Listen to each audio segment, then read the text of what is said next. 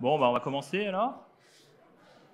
Donc, euh, pour ceux qui ne me connaissent pas, moi c'est Marin Valentin. Donc, je travaille au restaurant La Martine. Je suis la troisième génération de la maison. Et aujourd'hui, je serai accompagné de Théo, qui est notre euh, apprenti, qui travaille au Fontanil et qui est en deuxième année de BP. Voilà. Donc, aujourd'hui, on va faire une raviole de betterave avec de la chair de tourteau qui va être assaisonnée. C'est quelque chose de très simple qu'on peut aussi bien faire pour les fêtes, pour tout le monde. Voilà.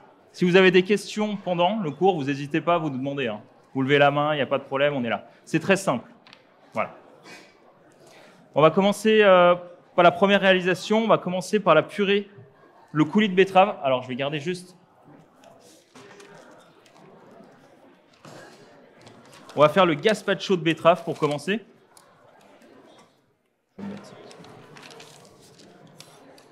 Alors, la première étape,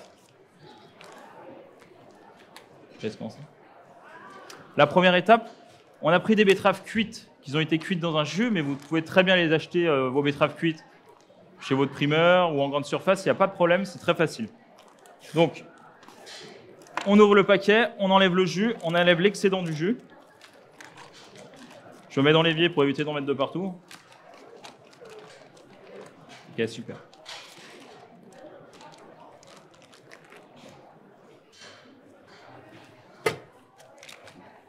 Alors, ce qu'on va faire en premier, c'est qu'on va déjà nettoyer la betterave, enlever la pellicule de peau, et surtout enlever les deux extrémités que nous, on a déjà fait en amont. Les deux euh, extrémités qui sont un peu dures, qui sont pas très bonnes après dans le coulis. Ça donne un peu ce côté terreux qui est pas très euh, intéressant. Et on va émincer la betterave. On va la faire revenir dans une casserole.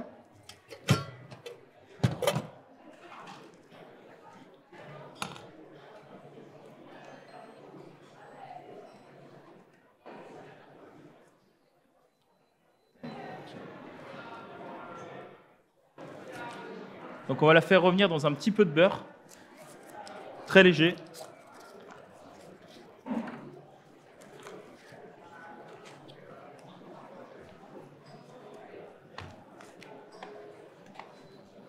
Donc il n'y a, pas, a pas de caméra pour vue d'extérieur, je vous montre. Euh,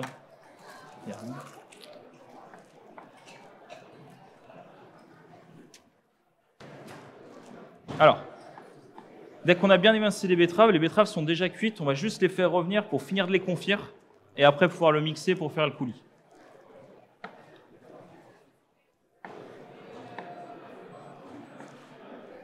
Super.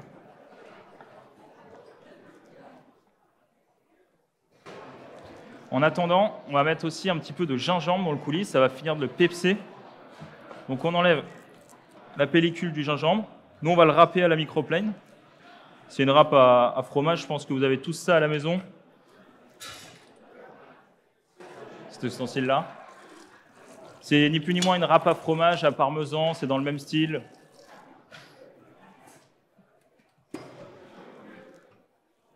Alors, Théo, je vais te laisser lancer.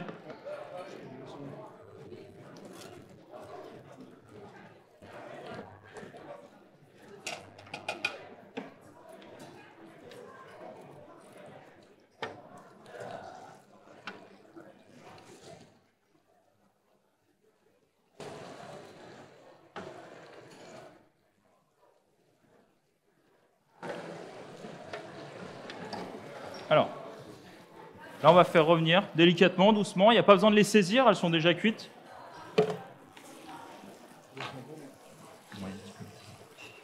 Je peux baisser un petit peu. Donc moi, je vais râper le, gingembre à côté. Le gingembre, il est hyper important, parce que sinon, juste de la betterave, on s'ennuie un peu. Hein. Voir à peu près la quantité.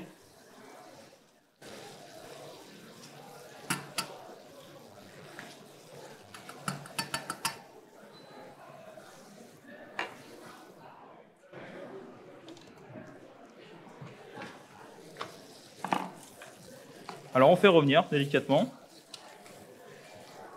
Ce qu'on va faire, c'est qu'on va, quand on dit le terme mouiller, euh, mouiller, euh, mouiller une purée, le terme en cuisine, c'est-à-dire qu'on va remplir juste à hauteur, nous avec un petit peu de bouillon de légumes et un petit peu de crème pour donner l'onctuosité.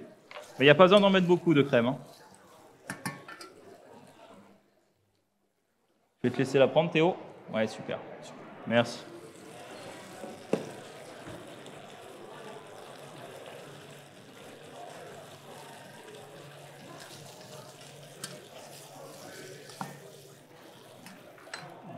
Ne sais pas s'il y a une vue. Vous voyez d'ici? Ouais, super. Donc on fait revenir les betteraves. Elles n'ont pas accroché du tout au fond. hein. Super. Alors, maintenant qu'elles sont revenues et que le gingembre est bien gorgé, moi j'ai mon bouillon de légumes qui est ici. Et vous pouvez très bien utiliser un bouillon de pot-au-feu ou autre chose que vous avez à la maison. hein. Et là, on va venir mouiller.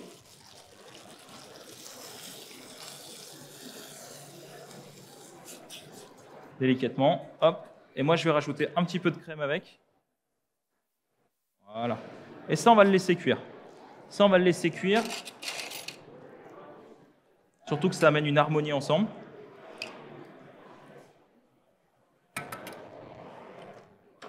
Voilà. Théo, je te laisse le veiller que ça déborde pas, quand même. Super. Alors, dès que c'est cuit quelques minutes à ébullition, on va le mixer. Mais en attendant, on va faire une deuxième étape. Ça va être l'étape de la raviole. Donc, je ne sais pas si vous avez vu sur votre recette, c'est du jus de betterave, de l'agar-agar et du xérès. Est-ce que vous savez ce que c'est de l'agar-agar Je pense que pas tout le monde est au courant ce que c'est l'agar-agar. C'est un gélifiant qui est naturel à base d'algues. C'est ni plus ni moins des algues séchées qu'on a mixées en poudre. Et c'est un gélifiant qui est naturel. Vous allez voir, c'est extraordinaire ce produit. Alors, ce qu'on prend, une casserole pas trop grande, avec nos 200 grammes de jus de betterave qui sont avec.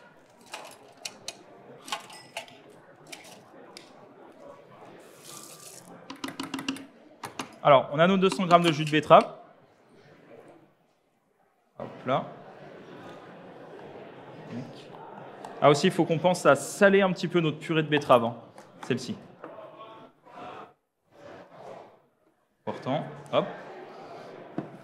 On va saler aussi notre jus de betterave.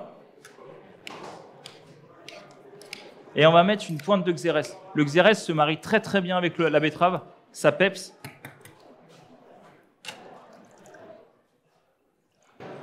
Voilà, super. On va mélanger, on va goûter.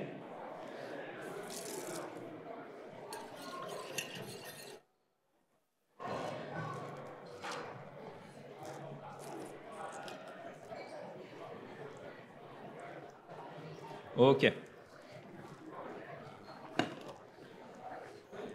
Donc là, l'étape qu'on va faire, on le fait avec du jus de betterave, mais chez vous, vous pouvez le faire avec n'importe quel jus. Vous pouvez le faire avec du jus de pomme, avec, euh, avec ce que vous voulez d'ailleurs.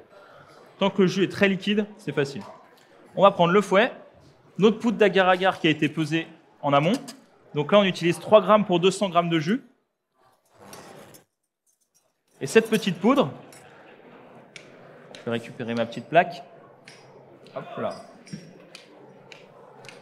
J'ai une plaque qui est bien droite. Et vous pouvez très bien le, le couler sur le poste de travail, ça fonctionne aussi. En fait, on va faire monter à ébullition ce jus de betterave et rajouter l'agar-agar. L'agar-agar se cuit à peu près une minute. Si on le cuit pas assez, ça ne sera pas gélifié. Il faut le cuire une petite minute. C'est pas de la chimie, hein, je vous rassure, c'est que de la cuisine. Il faut baisser un peu. Baisse un petit peu.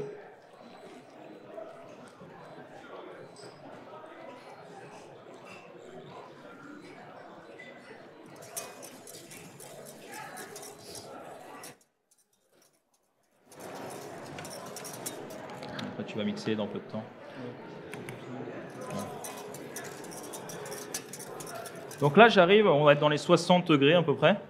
Je vais rajouter mon agar-agar. Donc on est bien d'accord? Là-dedans, il y a le jus de betterave, le xérès, légèrement assaisonné, mais c'est tout. Il y a juste ça. Et là,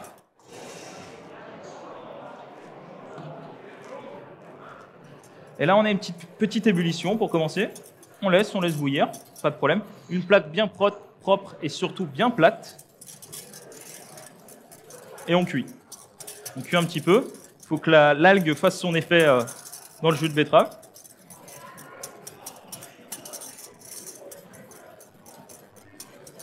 Dès qu'on a une très bonne ébullition, comme ça, on cuit un petit peu.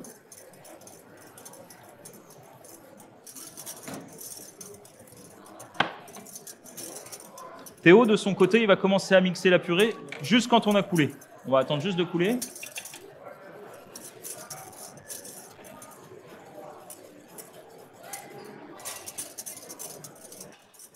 Donc là, on commence à être pas mal. On a une bonne ébullition. On va laisser juste redescendre en, température pour que l'ébullition baisse. Voilà, exactement. On a quelque chose de limpide. Et là, on va venir verser notre jus de betterave sur la plaque. Et on va légèrement jouer avec. On va remettre un tout petit peu.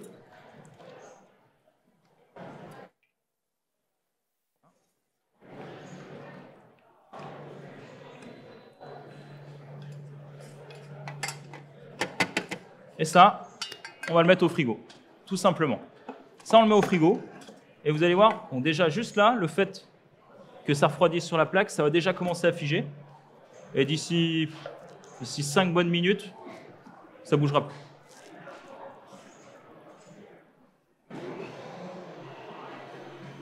On va même le mettre, euh, on va même le mettre au congèle que ça aille un petit peu plus vite. Et voilà. Donc de son côté, Théo, il va, faire, il va mixer la purée. Il nous faut quelque chose de bien lisse, c'est important. Il va aussi le rassaisonner.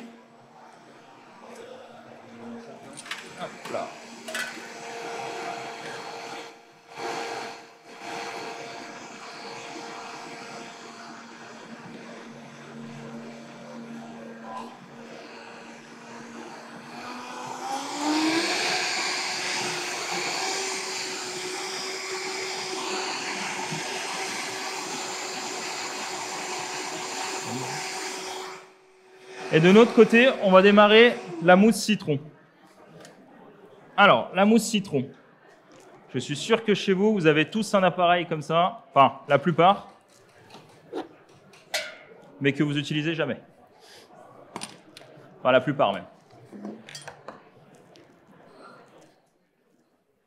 Alors, j'oublie rien, non, c'est tout bon, impeccable.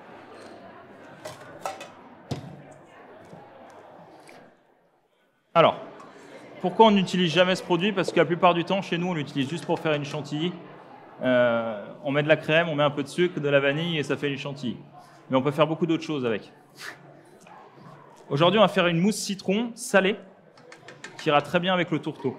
Ça rapportera encore un petit peu d'acidité et ça mettra, on mettra la raviole avec. Donc que je suis sur votre recette en même temps. Donc pour faire la mousse citron, alors, on va commencer par mettre la mascarpone, qui a été pesée, hein. donc il y a 100 grammes de mascarpone.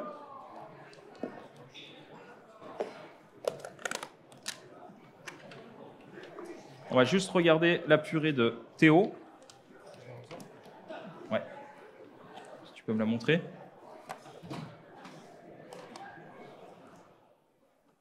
Super. Donc là, la purée de Théo, elle est bien lisse. Avec bien rouge aussi encore, un peu rose. Euh, cette purée, il va falloir bien la faire refroidir. Tout simplement, on la met au frigo.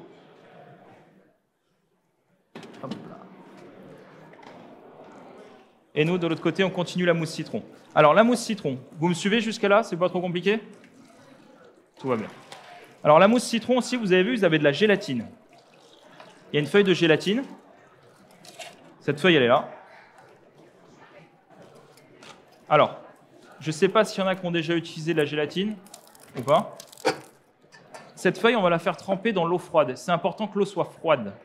Si vous la faites tremper dans de l'eau tiède ou chaude, la gélatine, elle se désagrège et vous perdez la feuille entièrement. Et après, du coup, votre appareil que vous allez faire, votre siphon, il ne va pas tenir. Ce sera de la soupe, tout simplement. Donc on prend de l'eau bien froide. Euh. Faut que l'eau soit très froide. Et on fait tremper notre gélatine. On la fait tremper à couvert. Et on la laisse tremper une bonne minute, je dirais.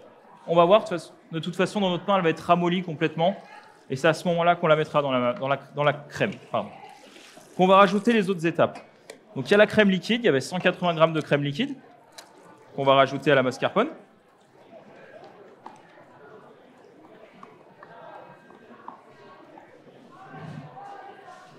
Et on va aussi rajouter le lait.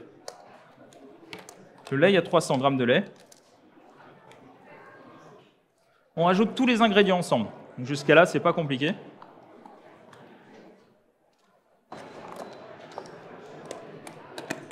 Et le jus de citron. Le jus de citron qu'on a fait au préalable, qu'on passe euh, à la passette pour éviter les pépins ou autre chose qui peuvent venir gêner après le siphon. Hop là.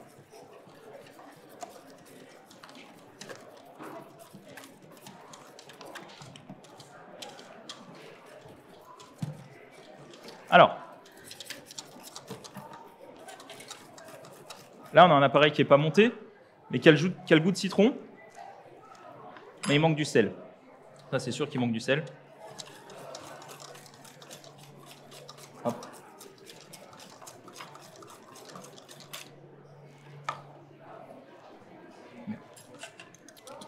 Et donc, pour mettre la gélatine à l'intérieur de ce produit, de cette crème, il faut chauffer un petit peu la masse, très légèrement.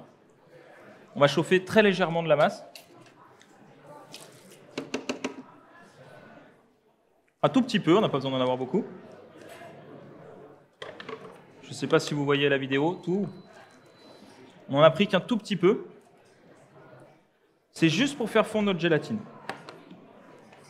Alors,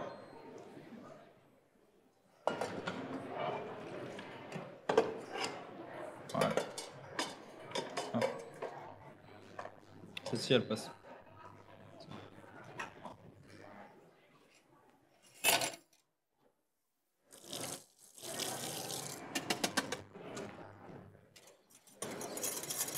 Bon, là on fait chauffer à peu près à, un peu plus de 60 degrés pour faire fondre notre gélatine. Ça sert à rien de monter jusqu'à l'ébullition. Et là, qu'est-ce qui arrive? Notre feuille est devenue toute ramollo. On la presse bien, on enlève,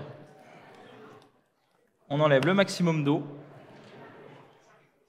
et on va mettre dans notre crème qui est, chaude. On mélange.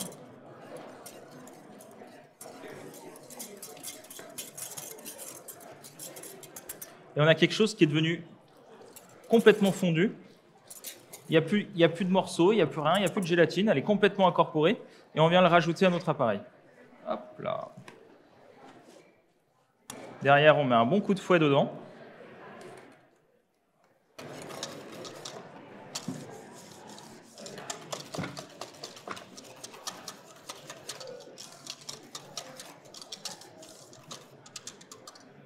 Et ça, on peut le mettre dans notre siphon. Je te laisse faire Théo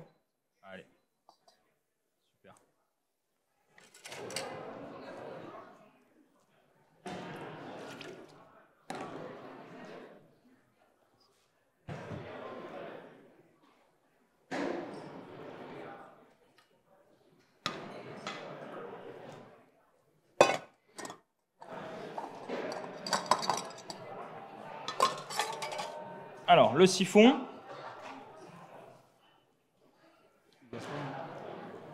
On attend qu'il soit froid pour mettre les cartouches. Donc, c'est-à-dire que là, on a une tête avec un joint. Pour ceux qui l'ont à la maison, on met bien le joint. On vient l'intégrer sur le dessus. On le visse.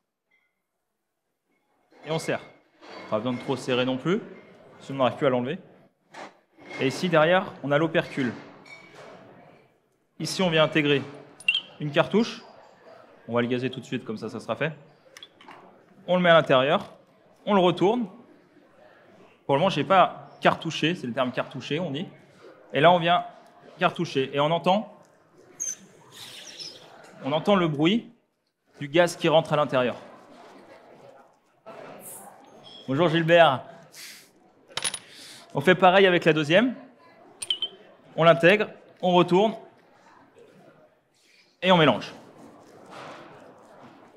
Là, le siphon, il est fini. Il est prêt. on le met au frais et on le touche plus, on attend qu'il refroidisse.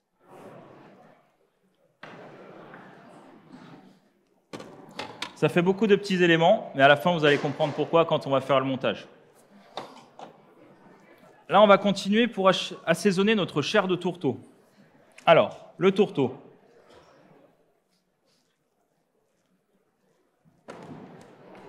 Donc nous, on a demandé aux poissonniers d'avoir le tourteau hein, prêt. Hein. On n'a pas trop le temps de, cuire le tourteau, euh, le casser. Voilà. Ça, c'est de la chair de tourteau qui est naturellement cuit. Le tourteau est cuit entier à peu près. On cuit à peu près euh, le tourteau 15 minutes pour 500 grammes de tourteau. Et euh, on le fait avec un bouquet garni dans de l'eau, avec du sel et un trait de vinaigre blanc. Une fois qu'il est cuit, on le sort de l'ébullition. On le casse avec un casse-noix, les pinces, tout ça, on récupère la chair. C'est beaucoup, beaucoup de travail. Mais aussi, ça s'achète la chair toute prête finie. Chez notre poissonnier, la poissonnerie de l'étoile. Alors, pour l'assaisonner, on prend un grand cul de poule, c'est plus simple, parce que là, je vais vous faire goûter à tout le monde à la fin. Donc, on met notre chair de tourteau. Hop là. Et après, on va ciseler deux échalotes. Donc Théo va vous faire une démo pour ciseler deux échalotes.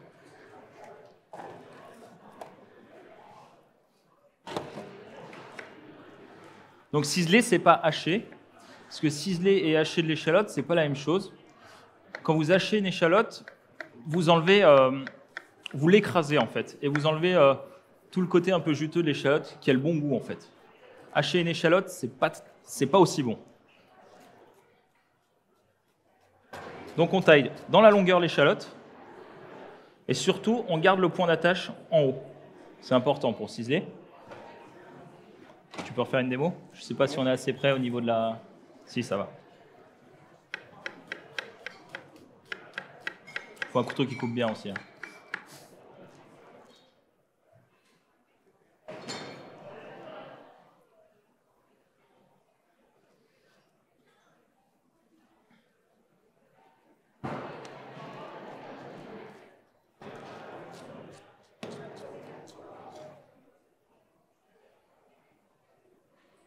Alors, pour bien assaisonner notre tourteau, on va rajouter un peu de ciboulette aussi, un peu de coriandre, de l'avocat, du sel et on mettra un trait de vinaigrette. Une vinaigrette très classique. On a fait l'huile d'olive, sel et un trait de vinaigre xérès. On n'a pas de bille de vinaigre balsamique pour pas amener encore de la sucrosité qu'on a déjà avec la betterave.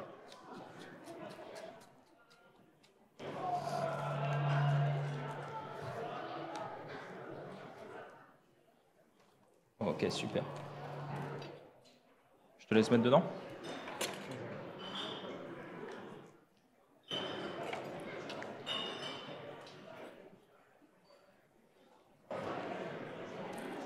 On récupère tout.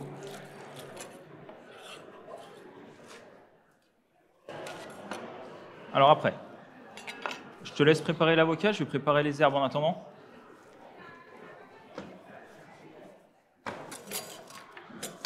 Hop, hop.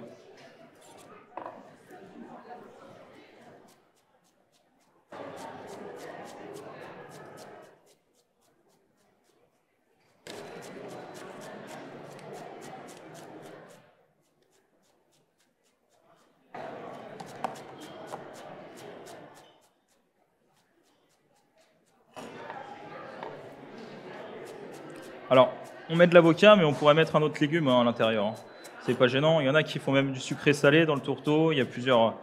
Il y en a qui l'assaisonnent avec de la mayonnaise aussi. C'est plus classique, c'est un grand classique comme de la cuisine française.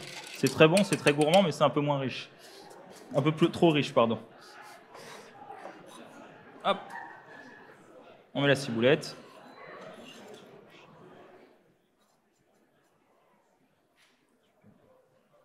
Et on va mettre un peu de coriandre.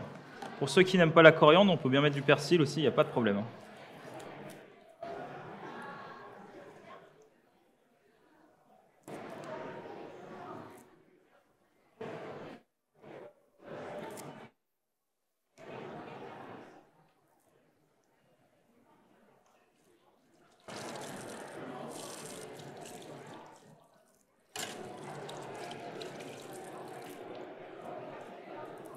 Qu'on met pas la branche de la coriandre, elle n'est pas très très agréable. On met bien que les feuilles.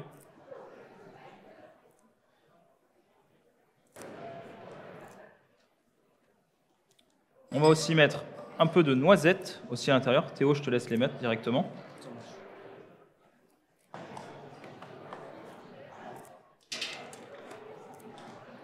Je ne sais pas si je l'avais marqué sur votre feuille, les noisettes, mais ça va ramener un peu le croustillant. C'est toujours sympa.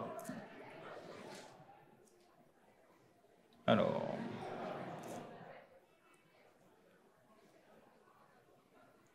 Si vous avez des questions, vous n'hésitez pas. hein.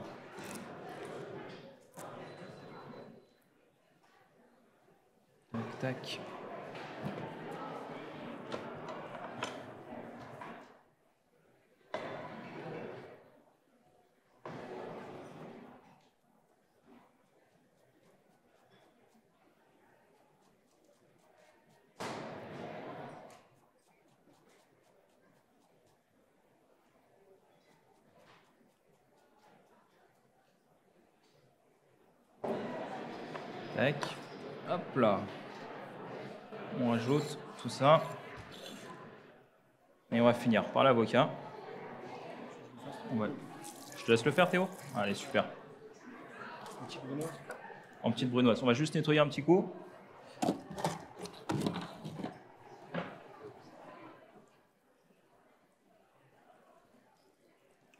Et nous, on va commencer à assaisonner de ce côté. Donc, on met un petit peu de sel et la vinaigrette.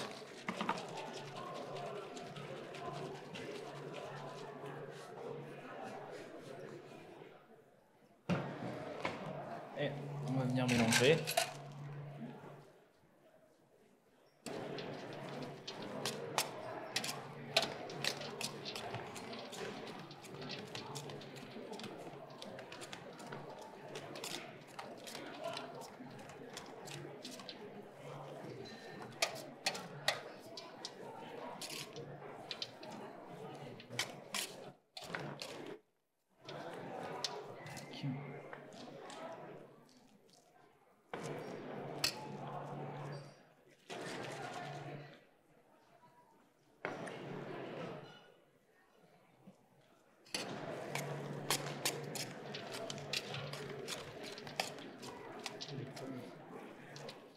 On va mettre quelques morceaux d'avocat.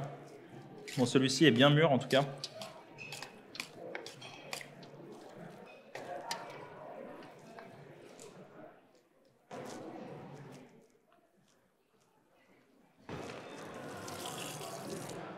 On va en mettre que. On va en mettre quelques morceaux encore et celui-ci, on ne mettra pas cela. On va les ramener.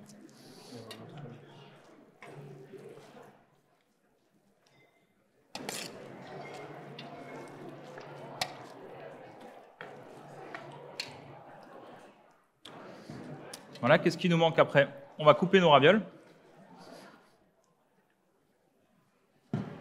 Voilà.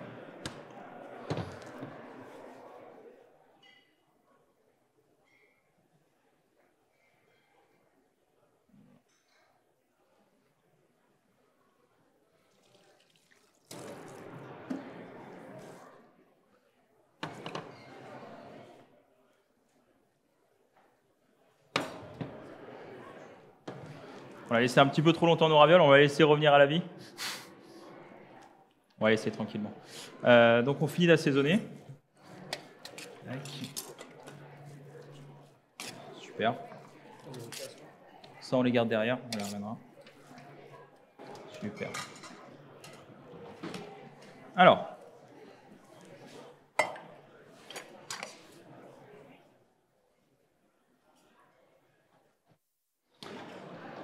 Maintenant, je crois qu'on a fait toutes les étapes. On va pouvoir commencer le montage.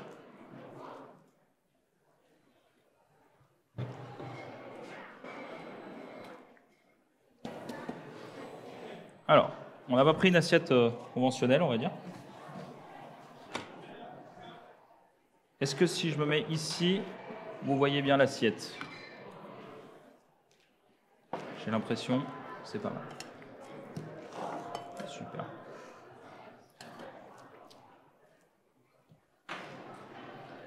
Alors, là, on va faire commencer à faire le montage de la raviole. on a préparé, nous en amont, la purée de betterave chez nous pour qu'elle soit bien froide. Parce que si on le fait minute, ce ne serait pas très froid. C'est la même qu'on a fait tout à l'heure, sauf que nous, on l'a déjà mis en pipette et elle est bien froide. Mais c'est exactement la même recette. Donc on va égoutter un petit peu le tourteau. On va prendre juste un petit peu.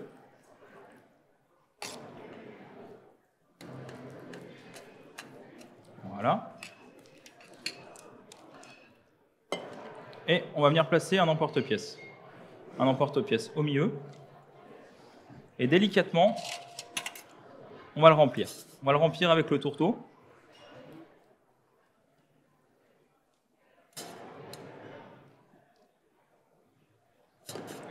On va faire quelque chose qui a un peu de volume.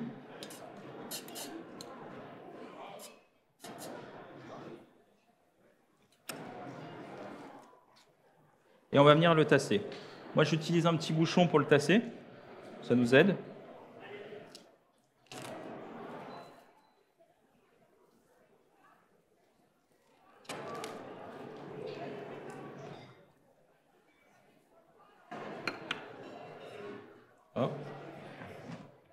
Voilà. On a notre purée de betterave qu'il a mixée tout à l'heure, qui est maintenant froide. Et on va venir faire quelques points.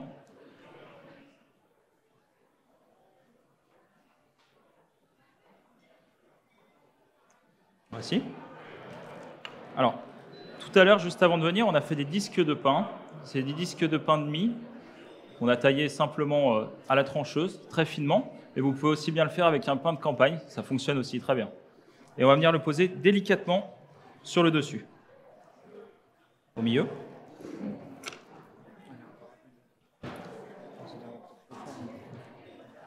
Alors, pour notre raviole qui est encore un petit peu dur, est-ce qu'on a une petite spatule On va prendre Donc, on va récupérer notre raviole.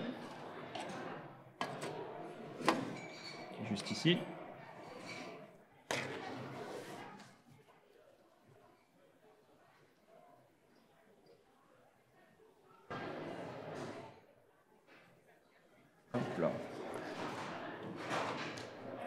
On va venir tailler avec l'emporte-pièce.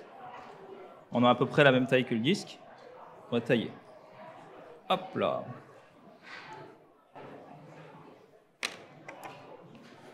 Là, délicatement, on va venir la lever et la sortir. Et qu'est-ce qu'on a? On a une feuille de papier de betterave qu'on va venir poser. Et ça, ça bouge plus. Il n'y a plus de problème.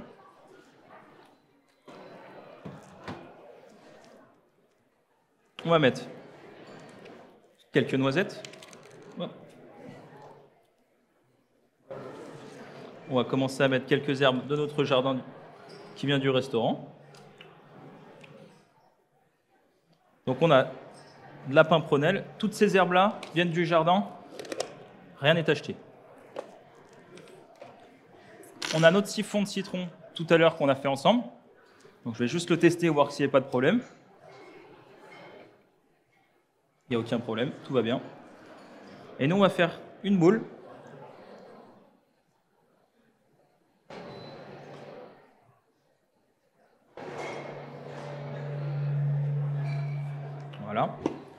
Et nous, ce qu'on va faire, c'est qu'on va venir poser délicatement quelques petites herbes sur le dessus.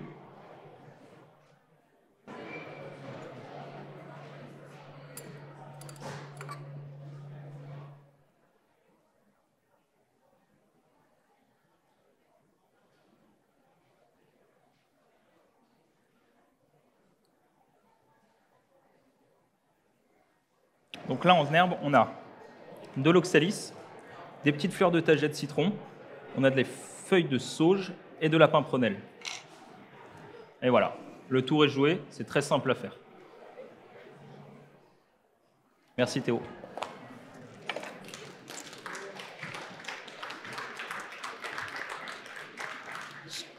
Ce que l'on va faire, euh... attendez, je vais le mettre de ce côté. On a encore de la chair de tourteau, vous inquiétez pas. On a du siphon au citron, vous pourrez goûter. On va faire des petits, euh, des petits récipients. Si jamais vous avez des questions, est-ce que quelqu'un a des questions? Dites-moi.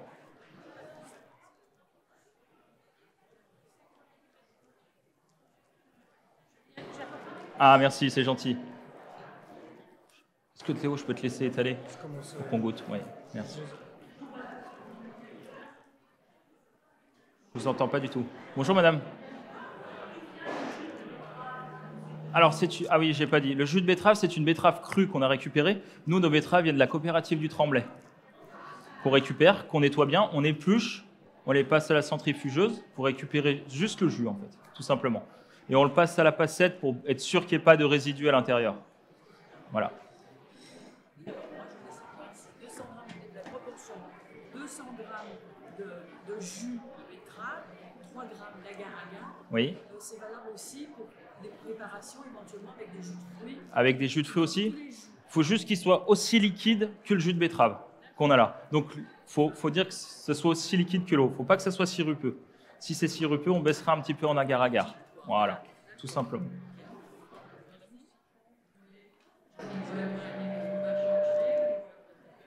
Je vous ai pas entendu, madame, excusez-moi. Oui Alors là, on utilise un lait entier, oui. On utilise un lait entier qui a un petit peu plus de matière grasse et du coup, euh, ça aide à mousser, on va dire. Mais j'ai jamais essayé avec un euh, autre lait, mais ça doit fonctionner aussi, hein. c'est sûr. Oui.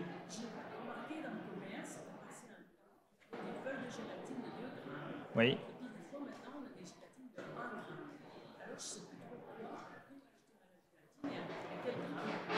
Alors, nous, c'est de la gélatine professionnelle, ça doit être les grandes feuilles pour vous. Ça doit être les 2 grammes, c'est sûr. C'est 2 grammes ou 2 grammes et demi, c'est quelque chose comme ça. Un peu de choses près. Voilà. Euh, bah, tu vas mettre un petit peu de tourteau au fond. Comme ça.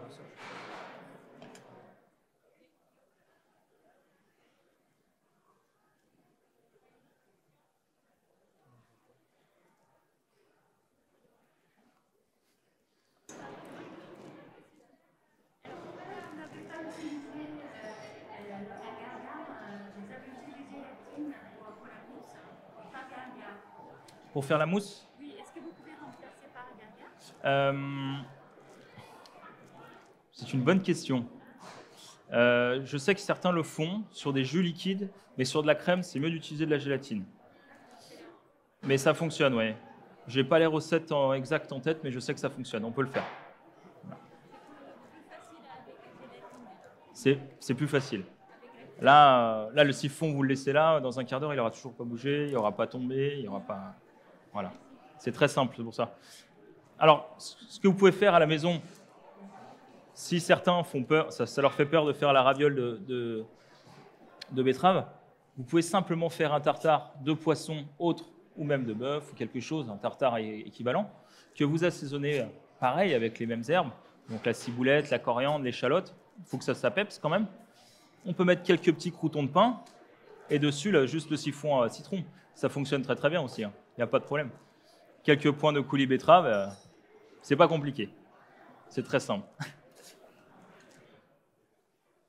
Alors, on va vous faire juste déguster. La pipette de betterave, tu l'avais mis au frais?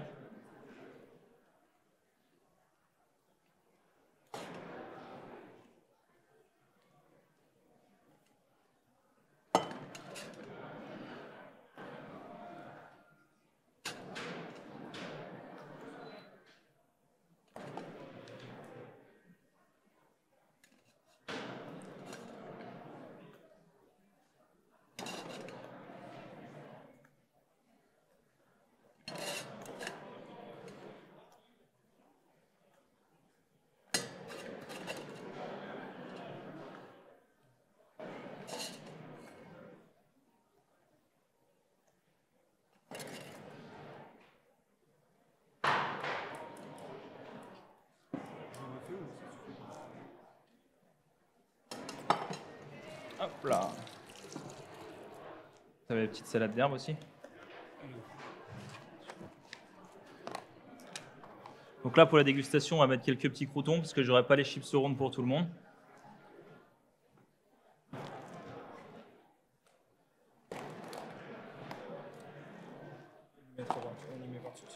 Ouais.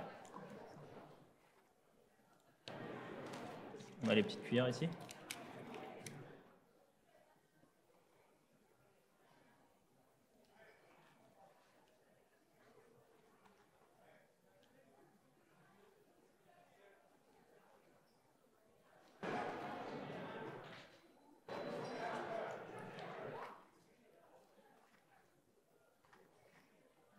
Alors, les secrets aussi pour les siphons.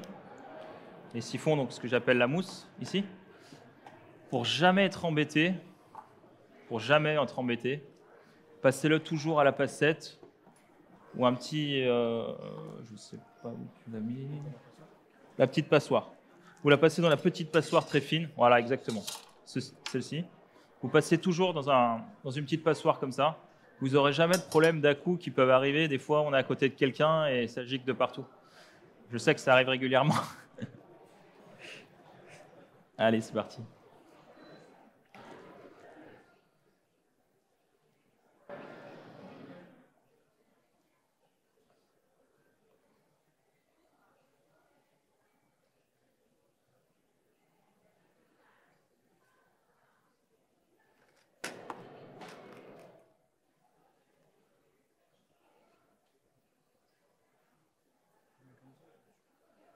Comment Oui, c'est très bien.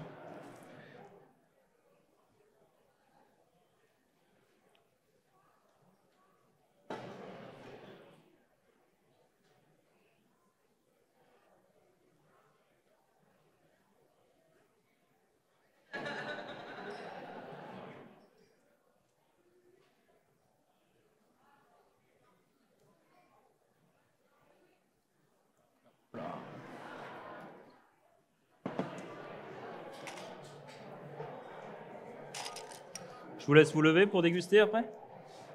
On vous accompagne, on vous les amène sinon.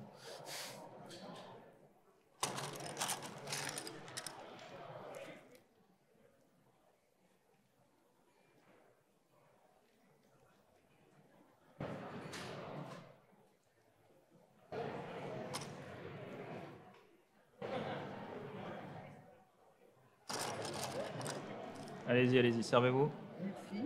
Super parce que c'est pas compliqué. Non, rien n'est compliqué. Bien. Et ça, vous pouvez aussi le faire l'été, il n'y a aucun problème avec un petit tartare très frais. C'est toujours très frais. Merci à vous, merci d'avoir suivi. Merci à Théo surtout.